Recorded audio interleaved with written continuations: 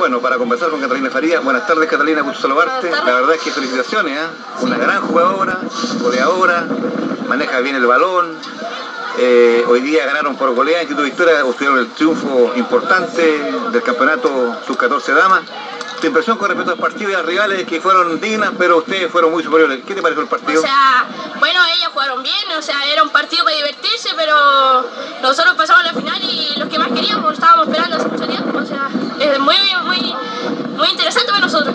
Catalina, buena jugadora como principio. ¿De dónde nace esto del fútbol? ¿Cómo te, te, en la disciplina del fútbol siendo una pequeñita todavía y con muchas cualidades? O sea, le agradezco a mi familia, porque mi hermano, porque mi hermano fueron los que me enseñaron a jugar, fueron las principales que, que me llevaron a entrenar, muchas cosas.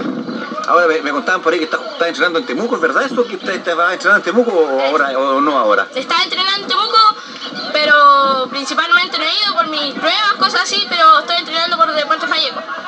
Que bueno, fíjate que conversábamos con los profesores, amiga, eh, es, difícil ver una jugadora de esa calidad tuya hoy día aquí en Victoria, Sí, eh, sí. con buen dominio. Y ahora dos goles olímpicos ahí, pues. Sí. ¿Y a qué se lo dedican los goles hoy día? Se Porque dedico- son muy importantes por lo demás. Se lo digo a mi papá, a mi hermano y a mi familia, o sea, a mi mamá en especial, porque me ayudó en todo, mi papá, mi hermano y mi abuela.